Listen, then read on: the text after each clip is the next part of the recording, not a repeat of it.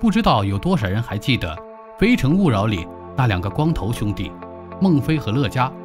他们把一个平平无奇的相亲节目做成了火爆全国的情感真人秀。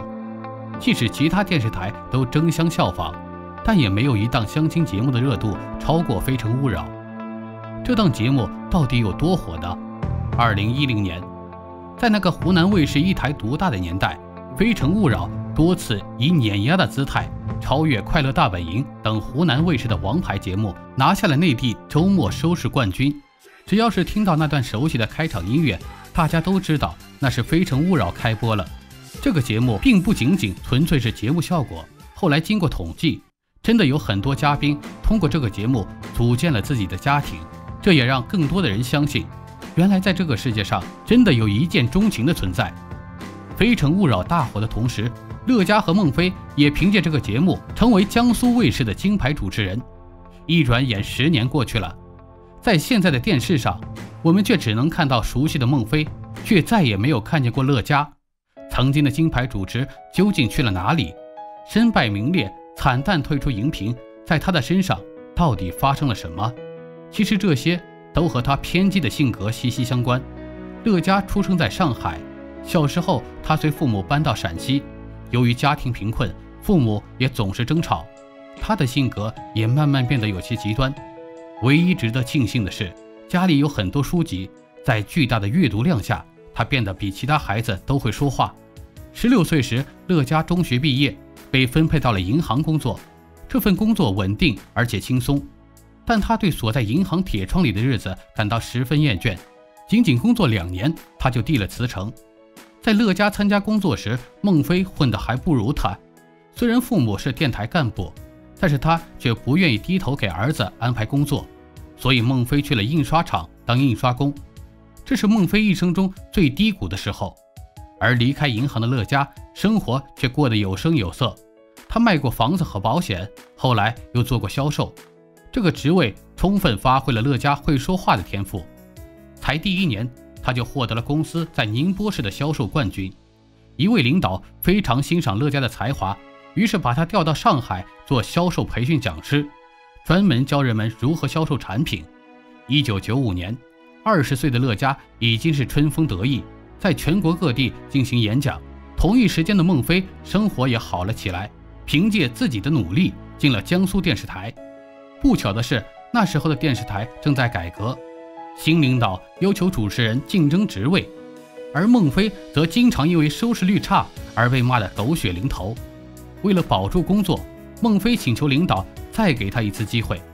孟非的真诚感动了领导，并派他主持了一个新的节目《南京零距离》。这档节目终于让他在电视台站稳了脚跟。二零一零年，王刚策划了一场婚恋节目《非诚勿扰》。据王刚介绍，这档节目需要一位能够适应各种突发情况的主持人，而且最好能懂一些心理学。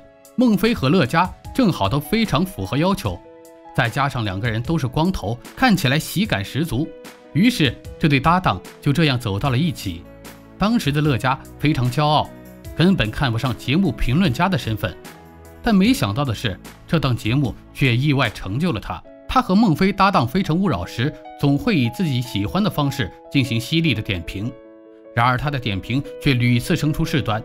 有一次，因为言辞过于激进，和嘉宾吵了起来，甚至在一次点评中还把现场的女嘉宾说得崩溃大哭。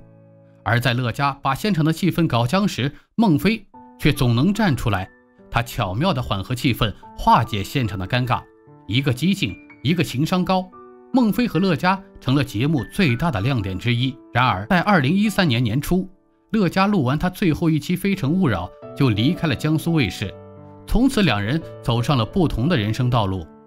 一直到现在为止，他们也再没有合作过。当初到底发生了什么，让乐嘉放弃了正在崛起的事业，离开了最佳搭档孟非和《非诚勿扰》？据说两人虽然在主持节目上很有默契。但是私下的关系却并不好。曾有知情人士爆料称，两人曾因为纠纷在更衣室里打架，在工作人员的劝阻下，两人才停了下来。但是这则消息被官方澄清是谣言。后来孟非在微博上写道：“留意一下身边的人，你会发现，所谓的激励，往往就是嘴不好；所谓的一针见血，经常就是没有教养。孟非的这段话，像极了对乐嘉的评价。后来，乐嘉同样发了一条微博，他引用佛教语录中的寒山的疑问：“世间有人谤我、欺我、辱我、轻我、骗我、见我，如何处之？”这两条微博似乎成了两人关系破裂的证据。乐嘉出走后的《非诚勿扰》虽然没有当年那么火爆，但也在孟非的努力下稳住了收视率。而乐嘉则在告别《非诚勿扰》后走上了更大的舞台。仅仅两个月后，乐嘉就先后担任了央视节目《首席夜话》和深圳卫视《叶问》的主持人。后来，他又相继去了《超级演说家》担任导师，去了央视担任《了不起的挑战》的主持人。然而，没了孟非在一旁打圆场的乐嘉。却逐渐原形毕露，彻底败光了在《非诚勿扰》时积累的好人缘。在《超级先生》节目录制的现场，乐嘉就将谢娜一把搂在怀里，说自己后悔结婚太早，随后甚至还试图亲吻谢娜。这样油腻的形象让观众沉默了。二零一四年，乐嘉在北京卫视录制《我是演说家》时，现场直接开撕华少：“我觉得你这个人很虚伪。”他的这句话彻底激怒了华少。作为曾经浙江卫视的一哥，华少自然不怕他。他不客气地回敬称：“如果要指控我，请拿出证据，否则我只能把你当混蛋处理。形势比人强。”乐嘉见到舆论风向不对后，又向华少低头道歉。在另外一期《超级先生》的节目中，他又情绪激动地指责宁静伤害学员。宁静身为娱乐圈的老牌明星。更是一点都不低头。一番据理力争后，乐嘉终于明白，大姐大的地位也不是好惹的。于是，他又嬉皮笑脸地挽着宁静的胳膊示好。如果这还不足以让乐嘉的人设彻底崩塌，那看完乐嘉在《超级演说家》节目中录制的表现，你一定会大跌眼镜。因为他的战队有一名队员被淘汰，他的情绪一度失控，端着一瓶白酒就上了台。而且还一边喝酒一边耍酒疯，门槛太高了，你知道不知道？你有本事，你让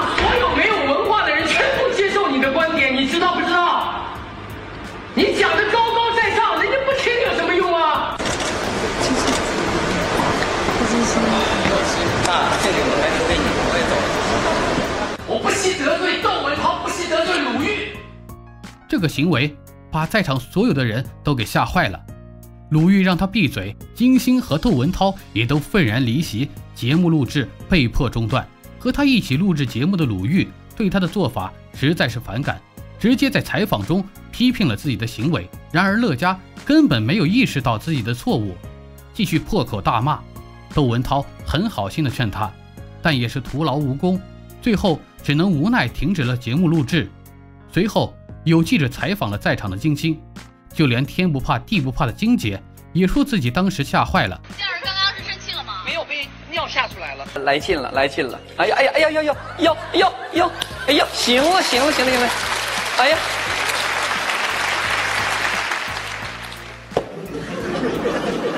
给老子放视频！耍酒疯事件发生后，乐嘉的人气急剧下降，也再没有节目敢邀请他出席。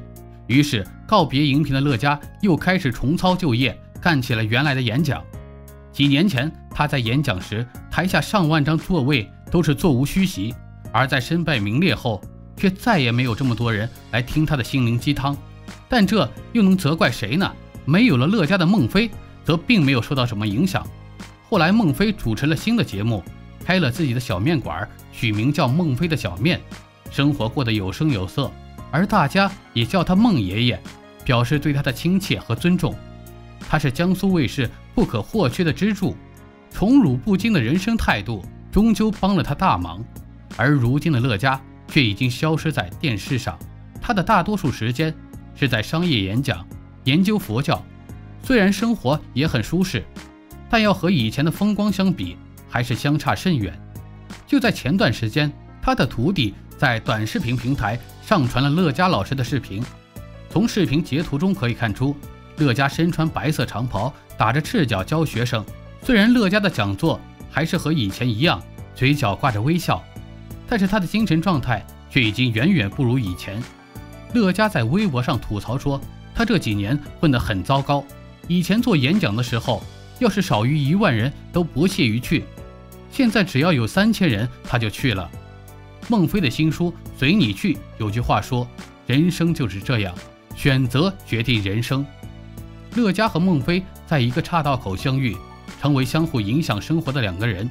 但是他们在一个岔路口分开，从此越走越远，走出了两条完全不同的人生道路。总而言之，性格决定命运。乐嘉终于尝到自己种下的苦果，年轻时太过张狂，不懂得收敛自己。最后也只能四处碰壁，在公众面前，他不顾身份，肆无忌惮地发泄，被公众所不容是迟早的事。或许仍有网友怀念他的主持才华和犀利的评论，但像这样的酒疯子，我们怎么能指望他给年轻人带来正能量的呢？你对孟非和乐嘉有何看法？欢迎理性和客观的评论。